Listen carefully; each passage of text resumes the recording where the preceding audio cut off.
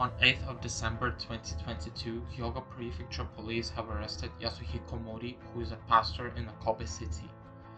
But Mr. Yasuhiko is not a regular pastor. After all, he was arrested on suspicion on violating the stimulants control law by using illegal drugs.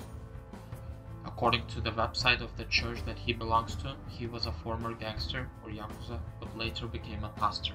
He established an NPO, which is a non-profit organization, and was working to support rehab and self-reliance of juvenile delinquents.